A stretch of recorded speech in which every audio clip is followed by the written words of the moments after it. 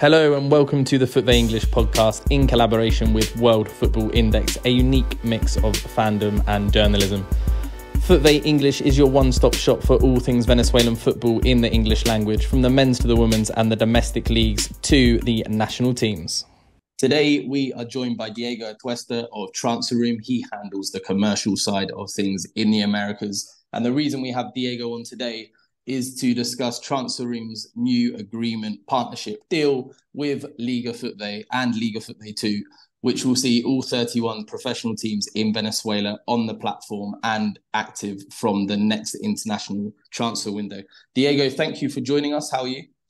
Hi, Jordan. Everything all right? How are you doing? All good. Thank you very much for joining us today.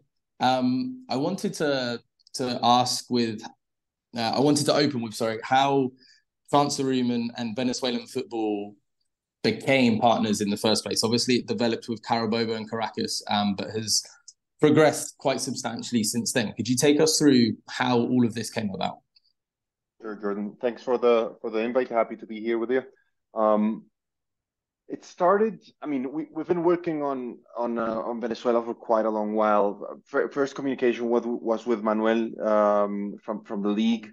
Um, that was actually not done by me, but it was done by I knew Manuel from from a past job, but another colleague of mine had spoken to to Manuel about this. Manuel knew about Transfer Room. He had the idea that he wanted to join, but then uh, he needed to be prepared for it. So um, it then went quiet. When I joined, I spoke to Manuel again. Um, so I went directly to the league. That was the first approach. Uh, Manuel said they definitely wanted to join, but again, it wasn't the right timing. So we pushed that conversation uh, another year probably. Um, and then I think there, there, were two key points here. One was uh, Carabobo's free trial. Carabobo had a free trial with uh, Salvatore Simeone using the, the, the, the, platform very well on the, the free trial month that he had. He, he had used Transfer Room before when he used to work at Leeds. He used it pretty well. And actually during that month, he got the chance to bring uh, Bagayoko uh, through transfer. Through we, we talk about facilitating deals, Jordan here in transfer. We, we we play a role in a, in, in a deal. We're not doing the deals. The deals are not done in the platform, but we play a role. So we play the role in in uh, in Bagayoko coming to play in uh, in, in Venezuela. Um, and then the other bit was I met uh, Philip uh, from Caracas uh, in Medellin, um, and uh, and we had a long chat about this. He liked the product. Uh, he came to one of the events. He also had a quick trial, and he very quickly realized uh, this was something that could could help them a lot. So Caracas was the first club to join, and uh, Philip was key. Uh, the fact that we had a success story with Bagayoko already working, uh, uh, playing in Venezuela, plus Philip's comments and, and his idea of the events, I think those those were the, the two key parts uh, to to to start a conversation again with Manuel and and uh, and end up with a with a league deal. Excellent, and the fact that sort of Caracas had that uh, exclusivity, if you like, within Venezuela, um, being the only Venezuelan club using it on a full time basis prior to the league, uh, and now the league having it uh, in in full. There's like a bit of competition of, of Caracas being the exclusive and now the league having it all, but a lot of onus um, on getting the most out of this uh, platform is how the clubs individually use it. As um as the service provider, how how will Transfer Room assist the clubs in making the most of this platform? Because international recruitment in Venezuela can be can be very hit and miss. Um, it's for various reasons. There's a limit um, on players, what area of the world players are going to come to realistically to, to Venezuela. Uh, historically, it's hired from the other countries in the Americas. Also, uh, there's a, a reluctance of some clubs to bring in non Spanish speakers or particularly bring in players from Europe, for example, because of the change in, in lifestyle, the change in culture. Um, how can Transfer Room facilitate clubs to use this platform intelligently? So, so first, you're the, on your first point on Caracas being the only one at the beginning, and then and then the other ones joining. I think I think the main problem, and, and we've discussed this in length with with, with everyone in, in Venezuela. The main problem the Venezuelan league has right now is they need to sell more players, and and they they have this problem as a whole. It's not a problem uh, in Colombia. They will say I'm Colombian, by the way. And in Colombia, they will say everybody will say we want to sell more players, but then there's some clubs that do sell. In Venezuela, it's it's a problem that, that goes across all teams. They want to sell more players, the talent is there, but then the exposure is not getting there, and there's some kind of, of blockers that that, that, that for for this happening. I believe that the fact how Manuel saw it and, and bringing on the whole league and giving exposure to a whole league, it's the best way. I actually think if I was a club and I see that another club does a deal, I would be happy for it. It's, even though it's competition, right? But I will be happy because the ecosystem is starting to move. So I think one key point here is to start looking this as a whole ecosystem in Venezuela. The owners of the club start looking at this as an ecosystem and not individually. They need to compete as a Venezuelan brand at the beginning, and then they will uh, earn their money when, when when they sell their players. But the Venezuelan brand has to grow as a whole at the beginning. So I want I want to, to to make that point on on, on mm-hmm. that that you mentioned. And then I fully agree. We... By the way, the visibility is is key, um, and hopefully going on transfer room is is something that aids this visibility because as someone that sort of sits both sides of the fence, um, a lot of the feedback that I've had in this calendar year uh, around the world is is that um, there's a reluctance to sign players from Venezuela this year specifically due to the lack of visibility, the lack of, of data, and the lack of um, transferable data. So obviously, Liga FUTVE has been with Opta this year, and the data Opta provide is is very very good. Um, in my opinion, far more exhaustive than Y Wyscout, for example. But the problem is, um, clubs are using Y Wyscout and they can't reliably cross-reference data from one platform to another. So the visibility or the lack of visibility has been a real real issue this year. Agreed. Agreed. And it's it's been something discussed again with with, with the clubs. We we will bring different kind of visibility. Opta will give you a lot of data points. Wyscout will give you range, I would say, because a lot of clubs use, use it, not, not, not the depth of the data that, that of Opta, but the range of clubs using it, plus the video. Um, it, that's what, what, what Hudl and, and, and and Wyscout will give you. And what we give you is another side of it. We we, we people don't buy Transfer Room to analyze players. That's that's mm-hmm. what other platforms are for. You buy Transfer Room to know in real time what other clubs are looking for and to be able to receive offers from different different players. So going back to your your question about how we're gonna help I think we can help in two sides. One is the recruitment bit, and we've seen that it can happen. We've seen a very strange case for Venezuela, like like like a Bagayoko coming. I think there, there, there are players that are out there and that will be willing to come to to to South America and to Venezuela. It, it, it's just a matter of how traditionally uh, the football markets work. Normally, they are the, the football markets are prisoners of how they normally work. They will have a set of contacts and they will move and I'll bring this Argentinian, I'll bring this Colombian, and I'll send those players to Peru or to Panama, right? And and and and that keeps that's the culture and changing a culture is very very difficult. But then this is where technology can disrupt. This is where with technology you suddenly land on a platform and we've seen the reaction of many of the clubs when we onboard them and they can't believe there's 700 clubs connected in one same place and that they're looking and they're seeing what club is, is, is looking for what player. Then the next level of the problem is do those clubs need your player? And that's that's something we can't guarantee. You're going to have the option to know who's who's looking for what and offer the players but then if it's if it happens or not well it has to be a quality player and you need to you need to you need to make the business right? But i think we're going to help clubs recruit, we're going to help clubs sell, and we're going to help help clubs with uh, visibility.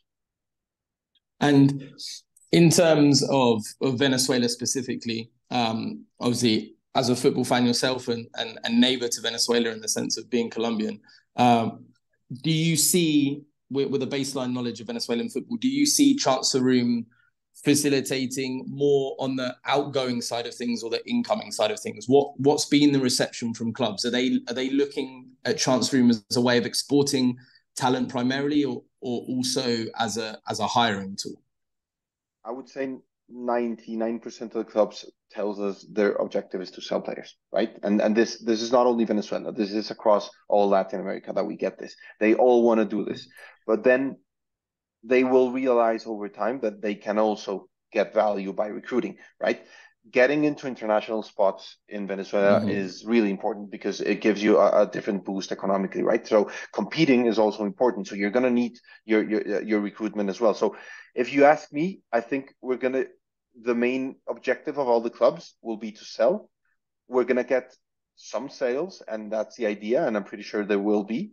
But then there will be a lot of players also coming in, and and clubs will slowly see that the return on investment on this kind of tools is not only selling a player, it's how many people I met, how many uh, deals I facilitated coming in, uh, how this player generated an impact on my team, and I could have couldn't have met, met uh, the, the, this this player if it wasn't through this. So there's many there's many ways, but yeah, I think for clubs selling, but I think there will be there will be both both sides. I, th- I, I anticipate really... Jordan. I anticipate a lot of loans coming in. Mm-hmm. I think I think Venezuelan clubs are in a good position to attract some quality players from big teams in Latam that are looking for more playing time. So I anticipate we can get a lot of loans coming in into into into Venezuela. We, uh, there was actually another one, not only Bagayoko, but there was a I, I don't remember the name right now, but it was an Argentinian striker that that came um, to to Carabobo, if I'm not wrong, as well, and and it, it came through a connection in transfer also. Uh, Paolasa. Yeah, yeah, yeah. So what one thing I wanted to, I was going to ask you something um, separately. Uh, yes, uh, about one one aspect of the platform I really like. I've been using the platform myself for for three months or so now. Um, and one element I really like of it is the sort of the expected transfer value metric that you have. Um, could you tell us a bit about that and, and how it works for the for you know the standard listener and and also whether you share the opinion that I do that I think this is something that could add real value to Liga FUTVE because I think uh, one problem Liga FUTVE has, alongside of just the general issue of selling players, often clubs look to Venezuela to sign free transfer players, is is not getting perhaps um, the the money they deserve for the players. Yep, agreed. That's that's a problem, but that comes back to my my first point, which which which you agreed on, and it's you need to generate an ecosystem that sells. That ecosystem will, as a mass, grow in value, and then you can start selling players. So there's there's a long way to go to start selling players at a very uh, high value, um, but definitely it's something that we can help uh, help help get there. The the XTV is a we call it expected transfer value. What we mm-hmm. do is we work with. It's very well known in the market, Transfermarkt, right? And and and you'll know Transfermarkt uh, tells you the player cost this and that we have a different approach. I'm not saying one is right or one is wrong, but what, what, it's it's just different. Our approach is data driven. Our approach is made on our XTV is based on how much long does this player have in his contract. So if if Kevin Kelsy uh, has six months left in his contract, no matter how good good he is, no matter if he scores goals in Champions League, he's going to be worth zero, right? Because he's going to go on a free.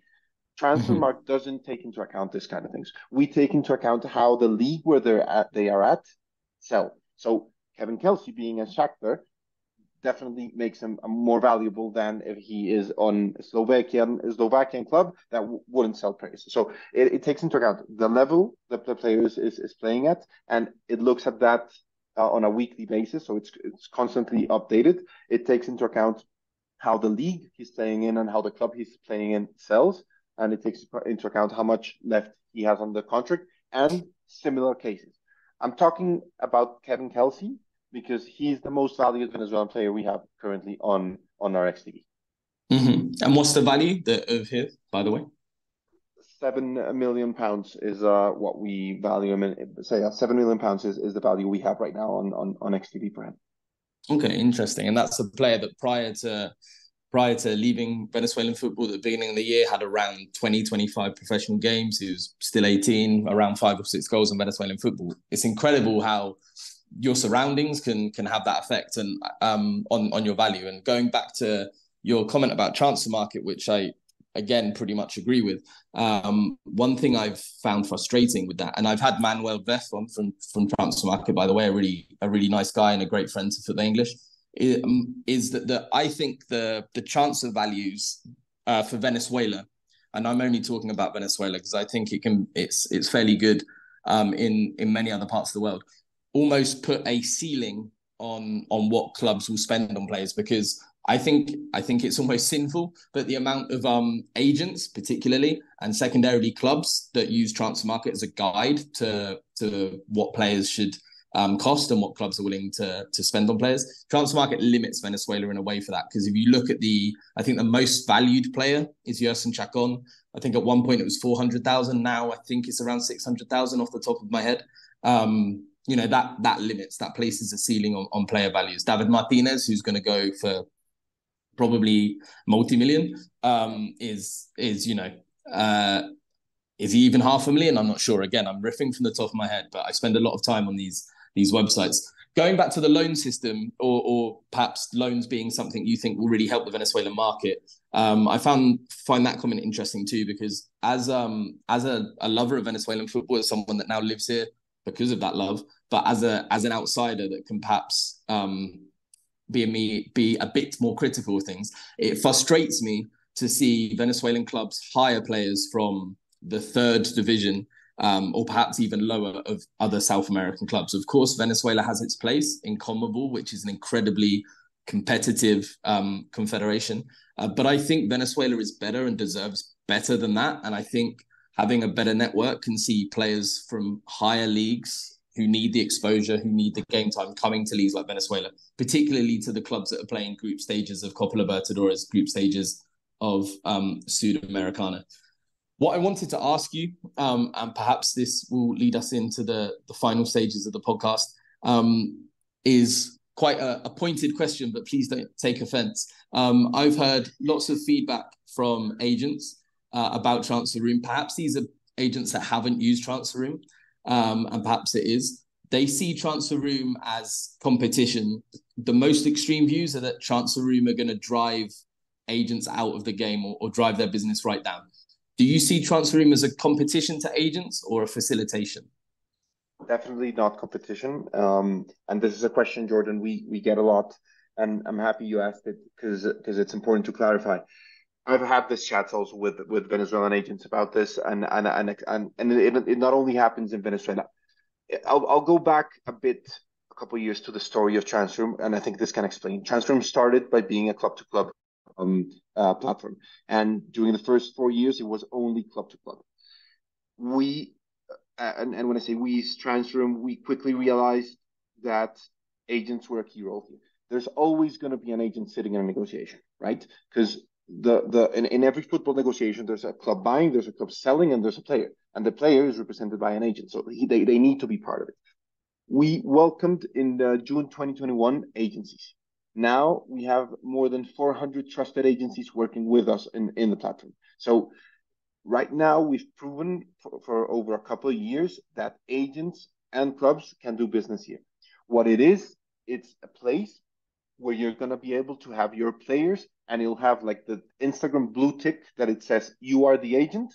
It will say, I am the verified agent of this player. So if you have your portfolio of players, you're going to be able to protect your players and you're in transfer and you're going to be able to say, this is me. I'm just going to give an example. Southampton was looking for Carlos Alcaraz. They they went into the platform. The club wasn't there. So they they saw that who was there? The agent was there representing. They saw the profile. They could see the track record of the agency. They could see everything the agency has done. They clicked on declare interest to the agent. A message popped into the agent's uh, uh, um, account, and it ended up being a 13 million euro deal from uh, Racing to the Premier League for Carlos Alcaraz. So this is just a case, but we we have many and many cases of agencies doing business. Now, to to give a, a clear example, if you are a club and you want, I'm going to say whatever, I'm going to say Soteldo, and Soteldo has uh, six months left in his contract, and you're sitting there and you want to hire him. You go into the profile in, in transfer room and you see that you can contact Santos, but the agent is also there. Who are you going to contact? The agent. The guy's got six months left in the contract. You need to speak to the agent because you need to be- get your better deal, right? So in football, you need to make a choice all the time. Do I want to speak to the agent? Do I want to speak to the club? But what we want to give our clients in Transroom is transparency and visibility of everything. We want to give you transparency of who really is the is the is the is the, is the guy representing this uh, this player. We want to give you transparency and visibility of the contract. We're going to give you transparency and visibility and access to be able to reach out either the, either to the club, to the agency, or to both. So I think it, it had that conception just because we started by only being a club to club platform I always tell agents, what if we had started only with agents? No non-agent would have joined Transroom because they needed we needed the clubs to attract the agents. So there was just mm-hmm. uh, uh, uh, uh, some steps to follow. But but that's the only reason why I think agents could be afraid of Transferroom. It's definitely not. We, we're a player that, that, that we're sitting in the middle and we're helping everyone do more business and connect with mm-hmm. each other. But there's you don't close deals in transfer uh, by, by using this. We, we actually have a couple of agencies from Venezuela working with with Transferroom as well.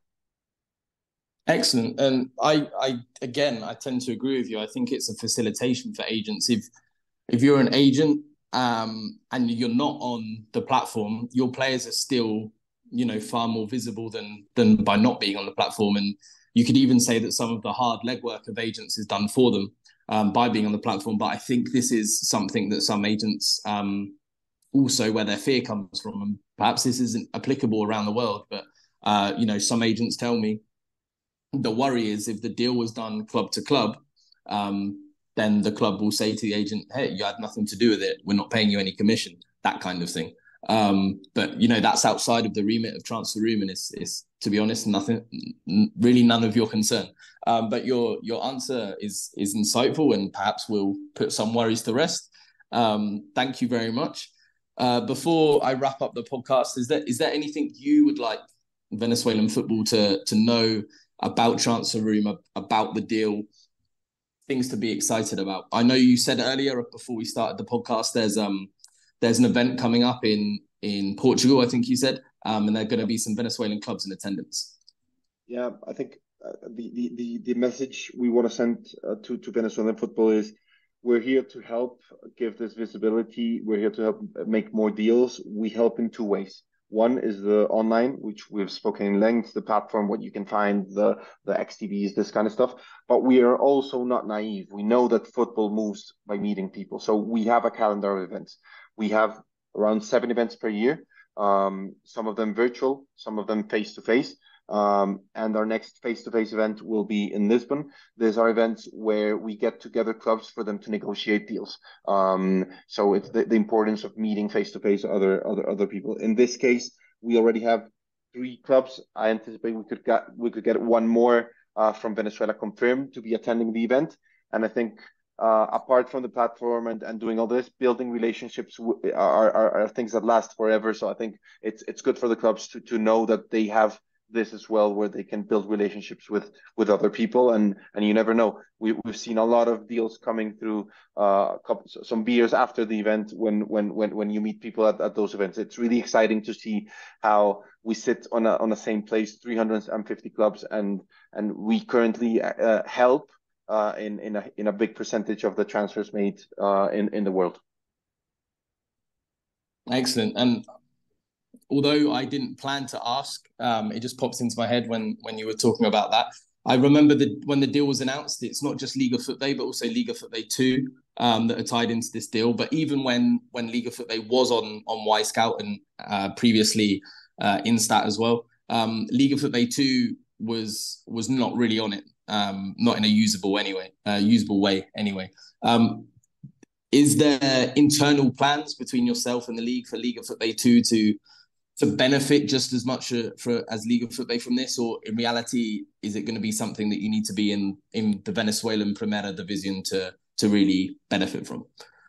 Both both uh, divisions have access to Transferroom. It's different packages and different. Uh, you, you there will be some more restrictions on on on the Liga FUTVE, but restrictions that are thought about and and it won't affect what what what, what they'll do they, they they they won't know if if a club is looking for a striker for uh, for 10 20 million you know like uh, so, mm-hmm. some things that that they they will still it will be diff- difficult for them to sell players for that value so i think they they will have visibility, and this was something the league asked for. Uh, they think as a, the league as a whole, as a whole, and, and if if one league is going to join, they want both leagues to join, and they're they're thinking on again going back to this ecosystem. They're thinking on the whole Venezuelan ecosystem and how it can grow, and I think it was wise on the league to to to get both leagues in. Okay, and again, I'm going to have one final final question. Um, I keep I keep getting reminded of, of things that I think are relevant. Um, I saw, unfortunately, I, I couldn't see a date on it. Um, you'll probably know. Um, but I saw that Transfer Room went into partnership with uh, a club in Panama, CAI. Um, yep. when when was that?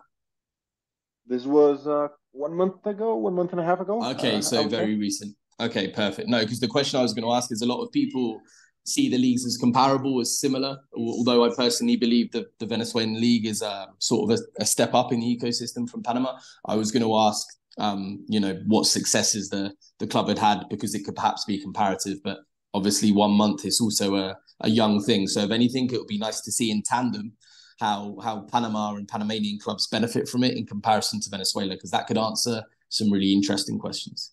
It's actually the the the most the most uh, um, players sold from one country to another. I mean, Panama and Venezuela do a lot of business, and we're actually speaking to the Pan- Panama League right now, um, and mm-hmm. we're they, they are considering doing what Venezuela did, right? And and uh, not only getting one individual club like Caracas was, uh, CAI is in, in Panama, but yeah, we're having those conversations, and I'm I'm pretty sure it could help a lot. We are actually growing a lot in Central America as well. We we, we a couple of weeks ago we welcomed Liga Deportiva Alajuelense, we welcomed Saprissa, uh, we have Real España in Honduras. We're very close on getting our first Guatemalan club, so it's it's uh it's moving a lot in the Central American region now that you mentioned Panama.